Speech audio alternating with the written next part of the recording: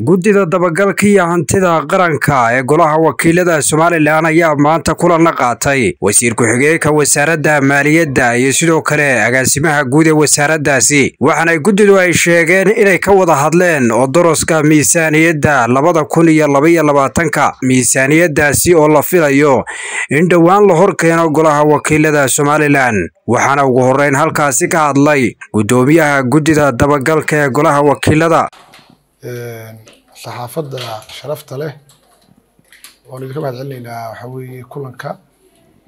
Kulanka iyagani wuxuu daarnaa wasaaradda horumarinta maaliyadda ayaa marti noogu ahayd. Ujeedkiisuna isagoo kooban wuxuu ahaa miisaaniyaddii xafiiska hantidhowrka guud ee qaranka oo waxaa weeye aan u gudbinay wasaaradda maaliyadda.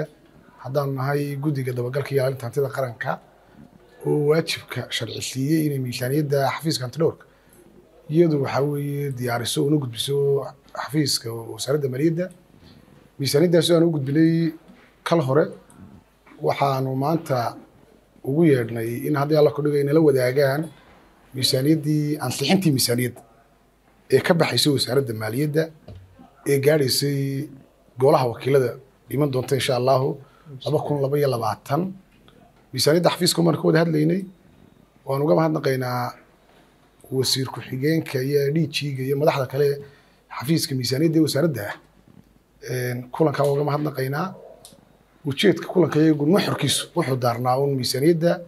Waanu isla ansixinaynay si wanaagsanna maanta uu noogu dhammaaday. Aad iyo aad baanu uga mahad celinaynaa. Insha allah waxaan rajaynaynaa wada shaqayn wanaagsan hay'adaha dowladda annagu wasaaradda haddaan guddigii dabagalka ilaalinta hantida qaranka hay'adaha sida weyn aan u wada shaqaynay ka mid tahay wasaaradda maaliyadda xafiiska hantidhowrka u xalaalay wixii maamul lacageeda waxaanu insha allahu rajaynaynaa inaanu inaanu miisaaniyaddaasina golaha markay timaado aydun ka doontaan. Miisaaniyadda waxaanu insha allahu koror ku yimi xafiiska.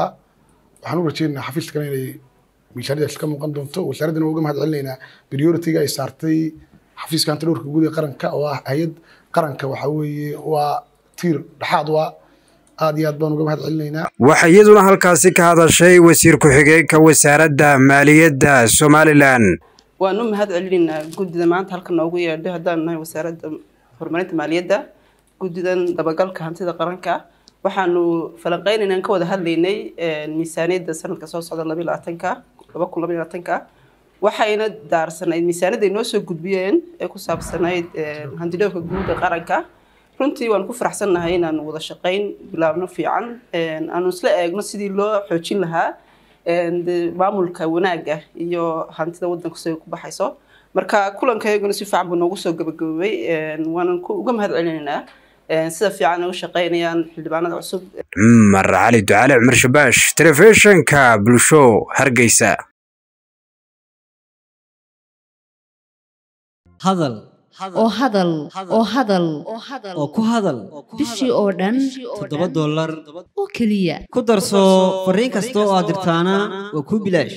haddaba si aad ugu shubato adeega kaafiye fadlan garaac xidig siddeed eber siddeed afargees ama xidig laba eber laba afargees isticmaal shabakadda ugu ballaadhan geeyiga somalilan